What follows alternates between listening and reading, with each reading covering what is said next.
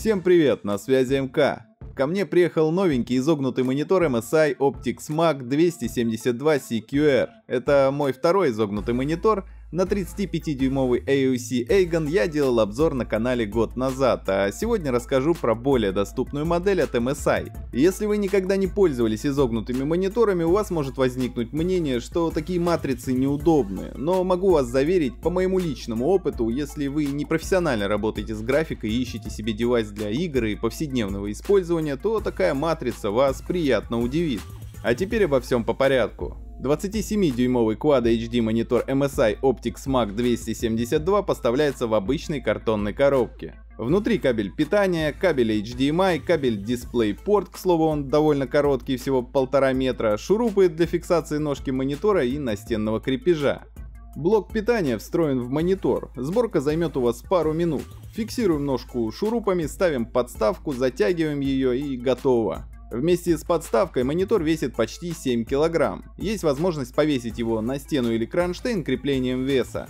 Задняя часть корпуса выполнена полностью из пластика. Визуально она разделена на три отдельные зоны с различной текстурой и узнаваемым дизайном. Сразу бросается в глаза джойстик управления, красный шильдик MSI и, конечно же, перфорация с RGB подсветкой Mystic Light. Но любителей светомузыки сразу огорчу. Светит она тускло, и на стене вы ее увидите разве что ночью. Набор интерфейсов расположен снизу. Тут DisplayPort, 2 HDMI, есть и порт Type-C для передачи сигнала и питания, разъем под наушники, 3 USB 3.2, один из которых служит для подключения к ПК и синхронизации со специальным ПО. Подключать все это дело несколько затруднительно, но часто лазить вам туда все равно не придется. Все кабеля пропускаются через отверстие в ножке. Из интересного, слева спрятана подставка под наушники. Несмотря на то, что выглядит она довольно хлипкой, свою функцию выполняет, с моими наушниками справляется. Спереди монитор выполнен в классическом стиле. На первый взгляд он может показаться даже безрамочным, но это не так. После включения они хоть и не широкие, чуть меньше 1 см, все же появляются. Монитор регулируется только по высоте и наклону, повернуть его не двигая подставку у вас не получится. На передней панели две кнопки включения и вторая программируемая с помощью фирменного ПО Gaming OSD, но про него чуть позже, а пока посмотрим на саму матрицу. Монитор получил изогнутую 27-дюймовую VA-панель производства Samsung с радиусом кривизны 1500 мм, к примеру у моего Aegon 1800 мм. Чтобы вы понимали, число, соответствующее радиусу, одновременно является максимально рекомендуемым расстоянием для просмотра, и чем меньше значение изгиба монитора, тем на самом деле круче его изгиб. Вот такая вот история. Разрешение матрицы 2560 на 1440, скорость отклика всего 1 миллисекунда. Но не забывайте, что это MVA и скорость отклика в 1 миллисекунду, к примеру, у игрового IPS будет визуально заметно выше.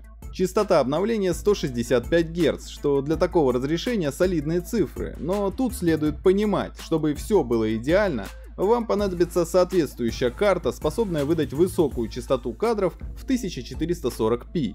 Разница с обычными панелями в 60 Гц особенно заметна в динамичных шутерах. Максимальный уровень яркости 300 кандел, объем цветового диапазона sRGB достигает 129%, а Adobe RGB 89%. Для непрофессиональных моделей приемлемыми считаются показатели 90 и 65% соответственно. То есть данный монитор подходит не только для игр, но и для любительской работы с цветом, ретуши фотографий или создания видео с оглядкой на изогнутость. Цветовая температура почти во всех режимах близка к идеальным 6500 кельвинов. Монитор позиционируется как игровой, и это действительно так. VA-матрица отличается отличной контрастностью 3000 к 1, для сравнения, в IPS-панелях хорошо бы увидеть тысячу к одному. Равномерность подсветки близка к идеалу. Раздражающих меня лично засветов, часто встречающихся на IPS, я не заметил. Углы обзора, с учетом того, что это изогнутая матрица, вполне приемлемые. К оформлению и наполнению экранного меню монитора вопросов нет. Оно вызывается нажатием на джойстик, имеет кучу разных настроек и, пускай с небольшими косяками, переведено на русский язык. Примеру, во вкладке «Профессиональный режим чтения» тут перевели как «рендеринг».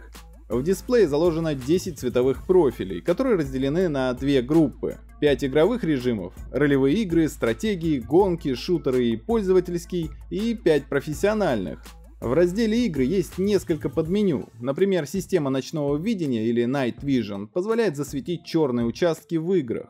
Также можно настроить время отклика, уменьшить смазывание и так далее. И естественно можно настроить изображение и вручную, выбрать источник сигнала, изменить быстрое меню, включить-выключить подсветку, в общем настроек тут хоть отбавляй. Монитор можно подогнать под свои предпочтения и, кстати, делать это еще удобнее через фирменное ПО Gaming OSD. В нем можно заранее настроить конкретные профили под запуск определенной программы или игры, включить режим разделения экрана, вывести прицел по центру и многое другое. В целом, с уверенностью могу сказать, что у мониторов MSI одна из лучших реализаций настроек меню. Монитор поддерживает AMD FreeSync второй версии, которая работает и на видеокартах NVIDIA. Она повышает четкость картинки и устраняет разрывы, делая видеоряд более плавным. К слову, на моей RTX 2070 AMD FreeSync заработал. Главное используйте подключение по DisplayPort. Еще есть поддержка технологии антифликер, то есть матрица не мерцает. Присутствует также и технология Last Blue Light, которая снижает интенсивность излучения вредного синего спектра. В целом, мне монитор понравился. Если вы ищете моник для игр или кино, MSI Optics Mag 272 будет отличным решением. Даже без калибровки он показывает достойные результаты. Но если вы хотите, чтобы все было максимально близко к идеалу, файл с готовыми параметрами калибровки я оставлю в описании, но на глаз изменений вы особо не увидите. У монитора хорошая заводская калибровка профиля пользовательский. Если коротко и субъективно, из плюсов это изогнутый дисплей, но для некоторых это может являться минусом. Хотя я работаю, играю и смотрю кино на изогнутом мониторе уже год и мне нормально. Также могу отметить высокую статичную контрастность, частоту обновления 165 Гц, широкий цветовой охват, хорошая цветопередача и очень удобное меню и широкие настройки. Из минусов, пожалуй, это цена. Начинается она с 32 тысяч рублей. Примерно на 10 тысяч дешевле можно найти версию Full HD, если у вас довольно средняя видеокарта. Если вам нужен широкий угол обзора по горизонтали, то есть вы, возможно, будете смотреть кино компании в 10-15 человек, то такой моник брать не стоит. Но вот по наклону углы обзора отличные. Про заявленный HDR ничего не говорю, так как при пиковой яркости в 300 кандел этот монитор не может предложить истинного качества HDR, да и преимущество этой технологии явно преувеличено.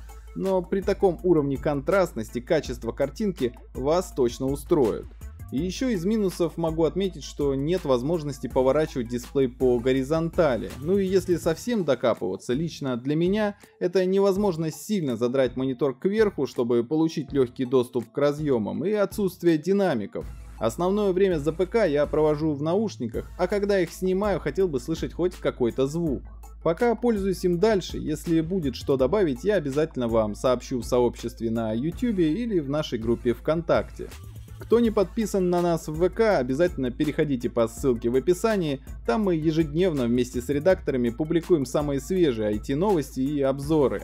А если вы ищете готовый ПК по честным ценам, загляните в наш магазин. У микрофона был Михаил Крошин. До скорых встреч!